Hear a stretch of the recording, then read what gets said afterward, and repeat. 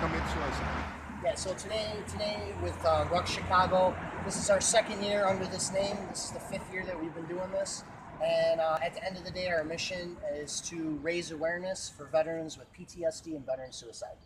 And uh, we do the we walk the 20 miles because uh, currently, right now, anywhere from 20 to 22 veterans commit suicide daily due to PTSD when they come back um, and trying to adjust to the civilian lifestyle.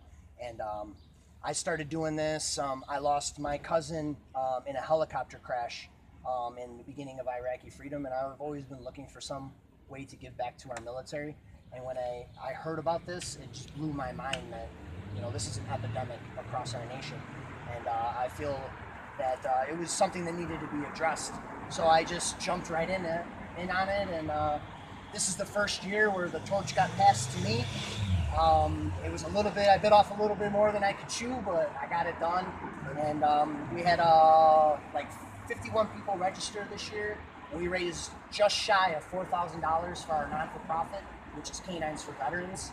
They provide service dogs to our veterans uh, to help them cope with PTSD. One more question. Yes. Where does the number come from? 22.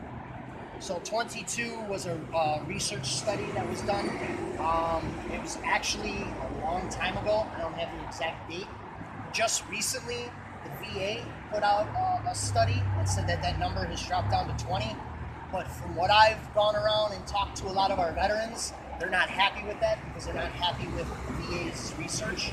So currently, we want to try and maybe get some funds together and get some new research out to Good. kind of see where that is. More at. accurate number. more accurate number, correct. Thank you, Sean. Yeah, thank you. appreciate it. I appreciate Be you well. support. Thank you. guys. Mwah. Yeah. Thank you, everybody.